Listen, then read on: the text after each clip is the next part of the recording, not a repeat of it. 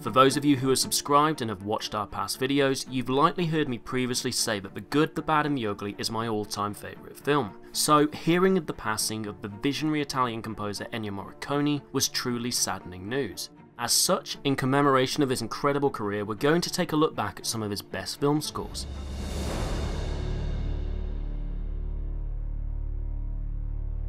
Number 10, Days of Heaven.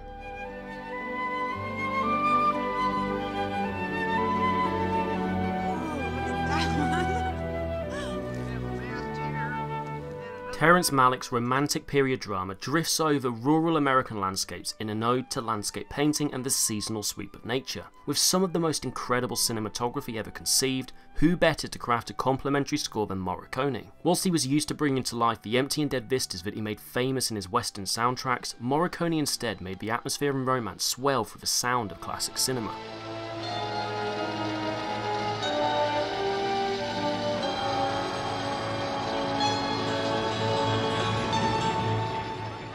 Number 9, The Hateful Eight.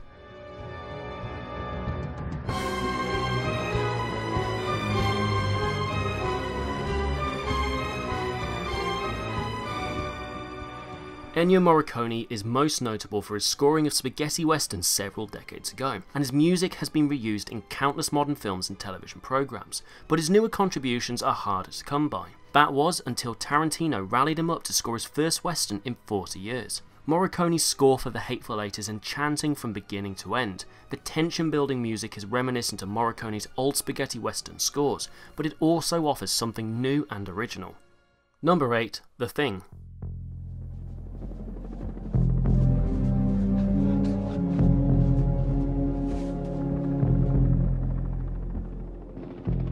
John Carpenter is renowned for scoring his own pictures, including classic themes such as Halloween, The Fog, and Escape from New York. However, in his first movie made by a major studio, he instead invited Morricone to produce a menacing and cold theme. Morricone adapted from his desert landscapes to an icy Antarctic environment, adding a suspenseful atmosphere to the sci fi horror, now standing as one of his most evocative scores.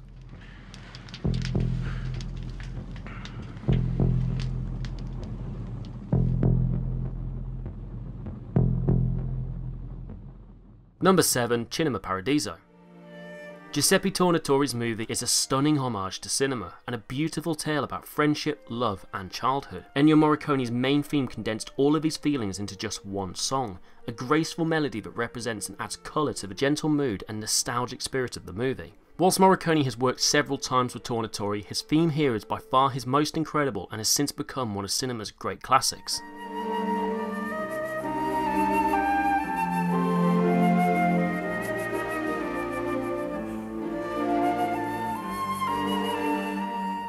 Number 6, The Untouchables.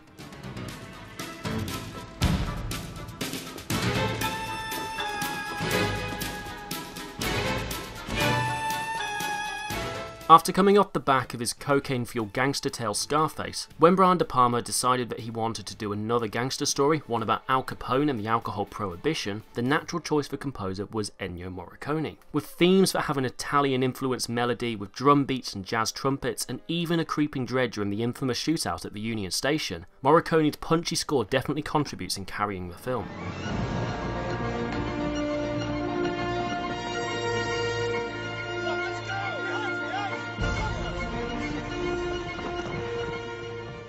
Number 5. The Mission.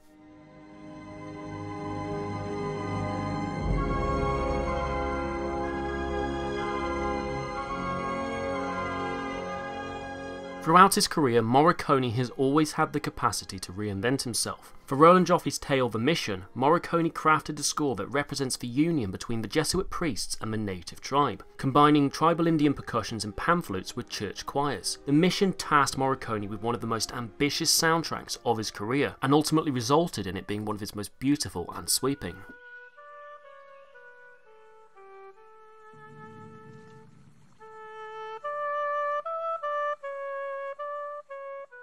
Number 4 Once Upon a Time in America.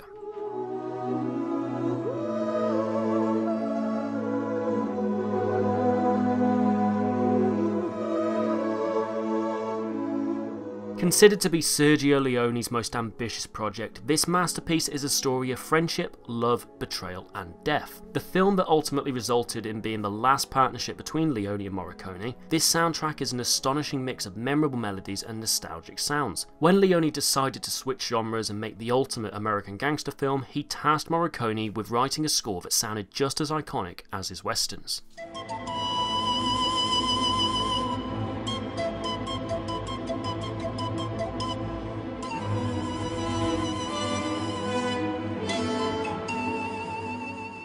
Number 3 A Fistful of Dollars.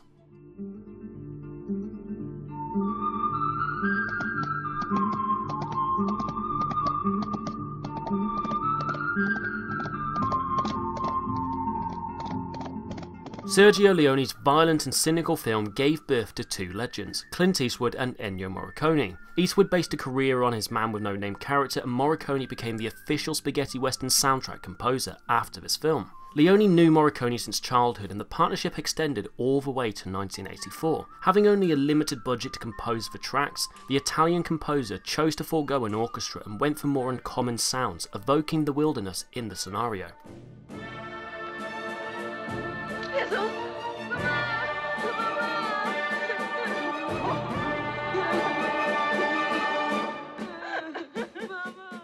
Number 2, Once Upon a Time in the West.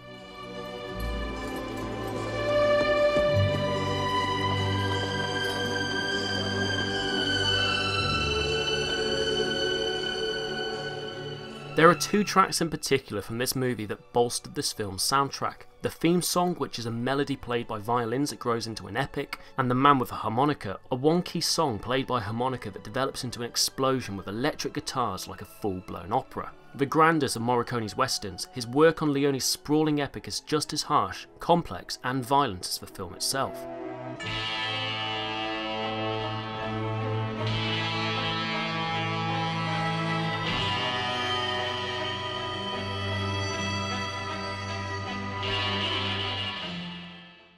Before we reveal our number one score, here are some honourable mentions that just missed the list.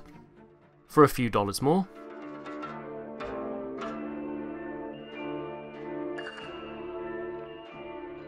The Battle of Algiers,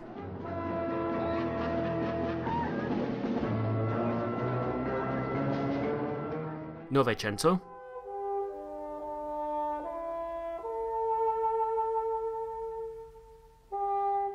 Malena,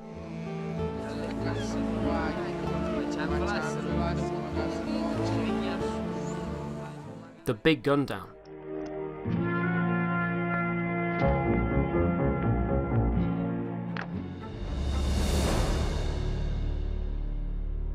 Number 1 The Good, the Bad and the Ugly.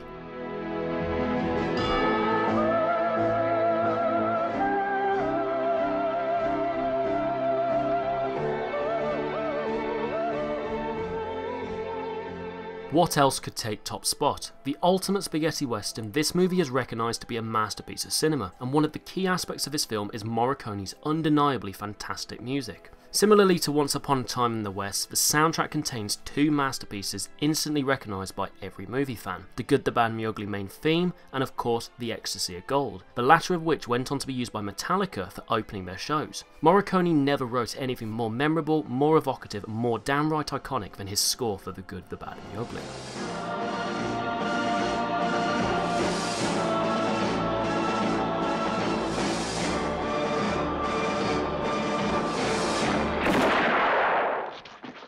Thank you for watching. Have your own opinions? Leave them in the comments below and be sure to subscribe for new content every week.